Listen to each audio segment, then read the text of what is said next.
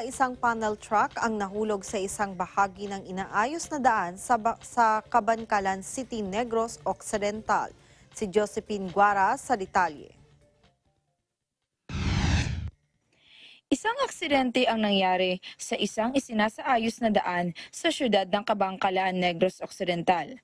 Ang panel truck ay galing sa syudad ng Bacolod habang minabaybay niya ang daan na one lane lamang dahil sa may inaayos sa kabilang bahagi, nawalan ito ng kontrol at dumiretso sa bahaging may bangin dahilang nahulog ito.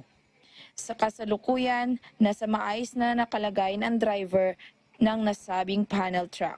Mula dito sa syudad ng Kabangkalan City, Negros Occidental, para sa Eagle News, ako si Josephine Guara. We live in interesting times. Sa